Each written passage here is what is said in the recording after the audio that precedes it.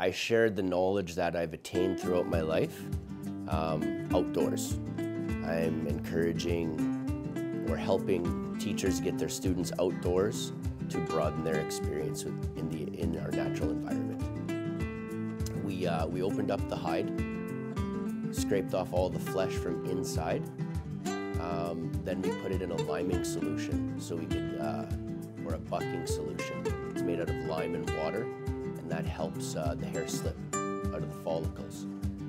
So when that happens, we have to scrape the hair off of the hide and then we have to go and remove the grain underneath the hair, which is the, uh, the layer of uh, dermis that holds the hair follicles in the hide itself. So we got the majority of that done last week. Um, we're gonna have to re-soak it just to rehydrate the hide because it's dried over the weekend. And then we're gonna continue with the graining process to get all of the, uh, the grain off of the back of the skin. If that's not removed, it's gonna create hard spots and it won't accept the tanning solution. So we have to remove that today. Then we're going to be soaking the hide multiple times and then wringing it out. Do you guys want to hold this and see what it's like before it goes in the water? Grab, grab a hold, grab it. It kind of feel like, feels like plastic.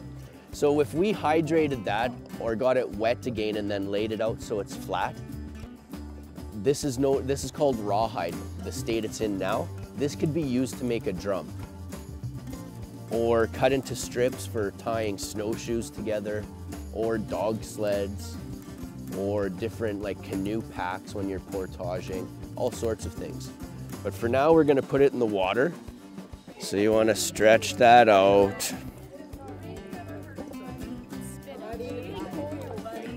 See, just like that. So you wanna get those wrinkles out of that as best we can. We'll put it back in there in the water. We didn't share a lot of our culture growing up. We kept it hidden. And now we're in a different time and we get to um, have a whole new audience that are willing to um, take part in this, which is really special.